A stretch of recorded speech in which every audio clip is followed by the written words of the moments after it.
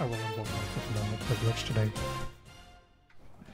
The Derek Chauvin Chauvin. jury is getting closer to beginning deliberations.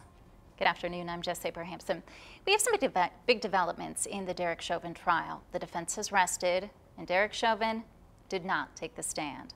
Maria Bray has been monitoring today's testimony and joins us live with the latest. Good afternoon. Hey, Jess. Well, the trial is now in its last phase as all evidence has been laid out and both the defense and the state have rested. Derek Chauvin invoked his Fifth Amendment right this morning and will not testify. The prosecution also called a previous witness to rebuke the defense's pathologist statements from yesterday that carbon monoxide contributed to George Floyd's death. Now, Dr. Martin Tobin told the court that Floyd's carbon monoxide level was not as high as the defense's witness claimed.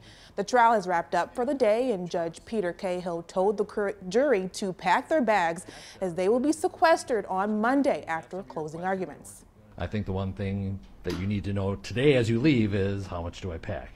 Uh, if I were you, I would plan for long and hope for short. Uh, basically, it's up to the jury how long you deliberate, how long you need to come to a unanimous decision on any count. And so, because that's entirely up to you, whether it's an hour or a week, it's entirely within your province.